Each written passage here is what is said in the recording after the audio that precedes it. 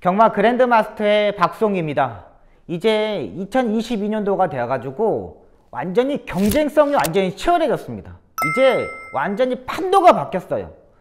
2주 동안 경마를 지켜보는 동안 기수들이 무리한 전개도 하지 않고 또 안쪽에다 차분한 전개를 하고 예전에는 막 앞선에 막 들이대가지고 막 잡혀가는 경우가 있었는데 이젠 그게 없어졌습니다. 왜? 경쟁이 치열해졌기 때문에 조교수닥이 줄어들었고 그렇기 때문에 실기승을 하면서 돈을 벌어야 돼요.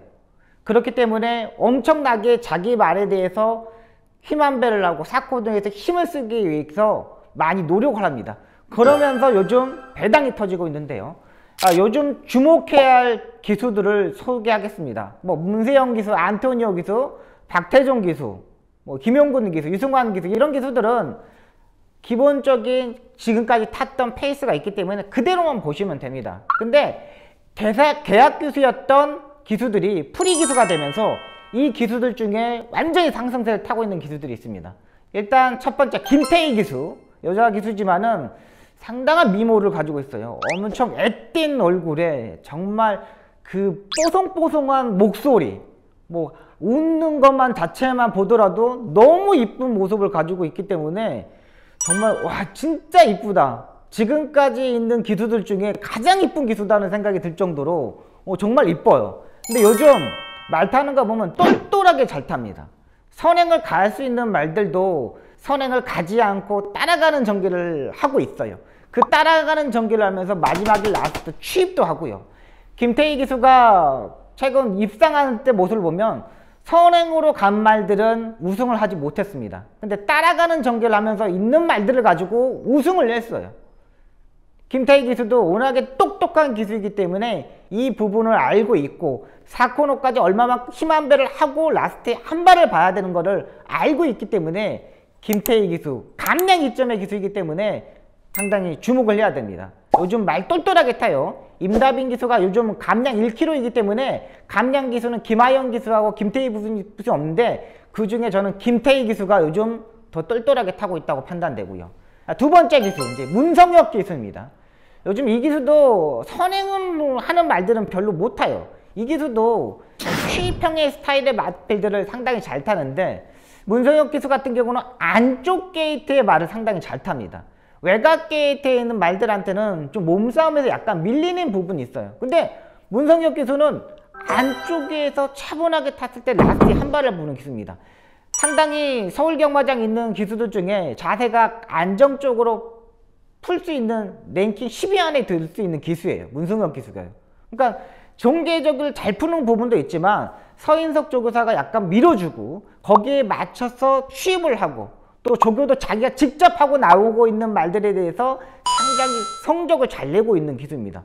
워낙에 똘똘하게 타기 때문에 안쪽에 있는 선입권의 말, 세 번째, 네 번째 붙을 수 있는 말들, 이런 말들 가장 주목을 해야 되는 기수이고요. 이제 세 번째 기수입니다. 이 세 번째 기수는 작년까지만 해도 거의 말을 못 탔어요. 거의 뭐 말을 못 하고 뭐 그냥 조교만 하고 있다 그러 있다가 어느 때는 하, 진짜 막 기술을 그만둬야 되는 생각을 가질 정도로 상당히 부진했던 기술입니다. 근데 마방을 조금씩 옮겨 다녔죠. 예전에 15조 박길조 조교사 마방 있다가 4조 아, 박윤규 조교사 마방 있다가 요즘 12조 서범석 조교사 마방의 말을 전담으로 조교하고 타고 있는 부민호 기수가 되겠습니다. 부민호 기수는 상당히 약간 키가 작은 기수인데 이 기수는 자기가 직접 말을 끌고 나오는 말들의 입상률이 상당히 많습니다. 워낙에 작년에 한 2년 동안에 밑바닥을 완전히 다 긁었기 때문에 다른 조교사들이 관리사들이나 트랙라이더가 조교시켜가지고 얘한테는 안 맡깁니다. 그렇기 때문에 자기가 직접 말을 조교를 하고 나와요. 그 조가 바로 12조 소변석 조교사 마방의 마필들입니다. 12조 서범석 쪽에서 마방은 워낙에 그 글로벌한 마방입니다. 홍콩 마주, 뭐 중국인 마주도 있고 뭐 상당히 외국 글로벌적으로 상당히 많은데 상당히 고가의 말들을 많이 사가지고 마방이 있습니다. 거의 뭐 말 가격을 보면 6천만 원짜리, 7천만 원짜리들 이런 말들이 중점적으로 많은데 이 말들이 성적이 지금까지 계속 안 났습니다. 근데 그 말들을 북민호 기수가 가가지고 조교를 하면서 거의 말들을 끌고 들어와고 좀 입상을 성공을 시키고 있어요.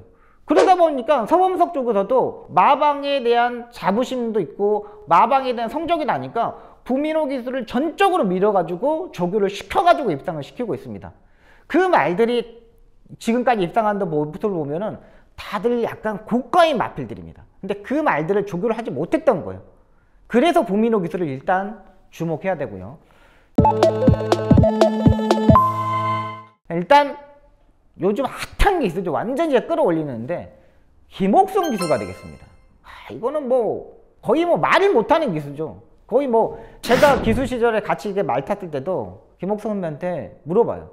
이게 A시장에서 있다가 말 타고 나가다가 뭐 윤승을 하거나 발주대에 대해서 만나면은 선배님 앞에 가요? 이렇게 물어보면 대답을 안 합니다. 그냥 스마일하게 웃습니다.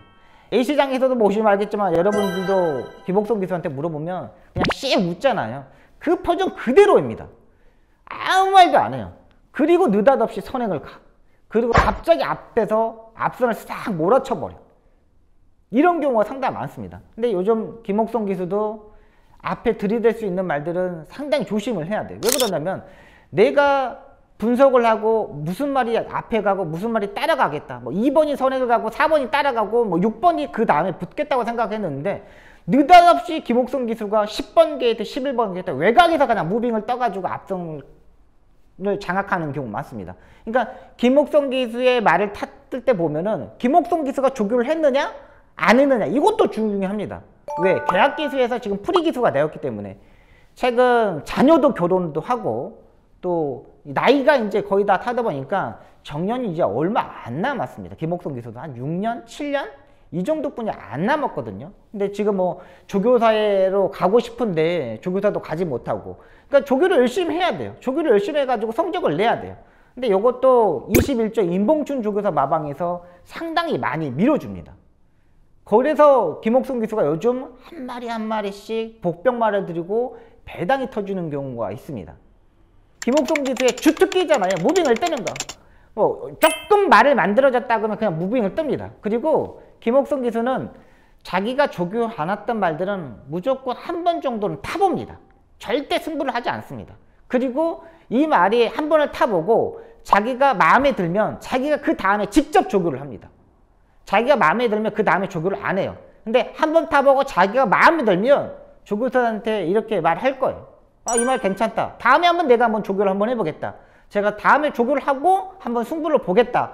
이런 말을 하고 직접 조교하는 말들은 일단 조심을 해야 됩니다. 이런 말들을 타고 배당을 터트리는 경우가 많습니다. 가장 중요한 키포인트고요. 일단 이 기수들은 직접 조교를 하고 나오는 말들 중점적으로 분석을 하셔야 되고요. 또 안쪽에 포지션을 가지고 있는 말들 조심을 해야 됩니다.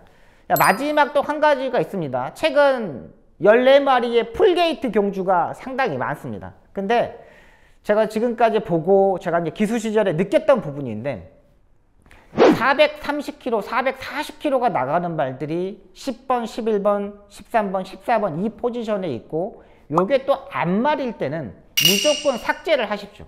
인기권에 1, 2위 있는 말들은 이런 말들은 그냥 삭제를 하십시오. 왜 그러냐면 14마리가 뛰기 때문에 자리 잡기가 상당히 힘들고 몸싸움도 하기가 힘듭니다. 지금 경마장에 있는 말들이 기본적인 평균 체중이 480kg가 나갑니다. 480kg가 나가는데 440kg, 430kg 나가는 말들은 벌써 외곽에서 몸싸움을 하려고 그러면 부딪히고 밀리고 그 다음에 제어하면 또 힘 한 배 떨어지고 다시 가속력을 붙으려면 그 가속이 안 붙습니다. 최근 14마리 뛰는 경주 외곽 게이트에 430km, 440km 나가는 말들 무조건 삭제하시고 배당을 노리시는 게 가장 좋습니다. 인기마들이 최근 너무 불안한 부분이 많습니다. 워낙에 경쟁이 치열하다 보니까 앞선에서 경합도 안 하고 심한 배 잘하고 꾹 참고 있다가 한발 보는 말들이 많기 때문에 이런 말도 조심하셔야 되고요. 지금 제가 소개했던 기수 이 배당을 노릴 때 인기 마드가 불안할 때 기수 한번 노려보시기 바랍니다.